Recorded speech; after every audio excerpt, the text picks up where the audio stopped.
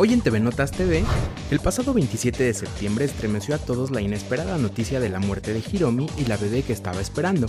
Sin embargo, el que conmovió fue Fernando Santana, el ahora viudo de la cantante, quien se despidió de sus dos amadas con una conmovedora carta en redes sociales en donde les agradeció por todo el amor que le brindaron.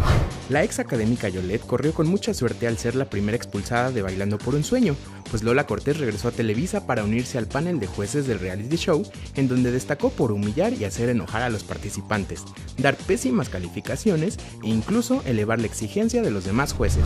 La familia Fernández se encuentra más feliz que nunca pues ya nació la primera bisnieta de don Vicente Fernández, producto del amor de su nieta Fernanda Fernández y Alejandro Albornoz.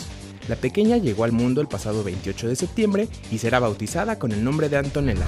Luego de advertir con exactitud lo que sucedería en la Ciudad de México con el sismo del pasado 19 de septiembre, Moni Vidente de nueva cuenta rompió el silencio y aseguró que próximamente vendrán otros movimientos telúricos de mayor intensidad, aunque pidió no alarmarse.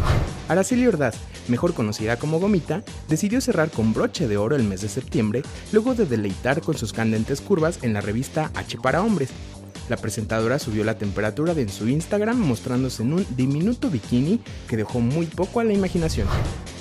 Recuerda seguirnos en nuestro Twitter en arroba tvnotasmx y no olvides suscribirte a nuestro canal de YouTube Diagonal Revista TV Notas.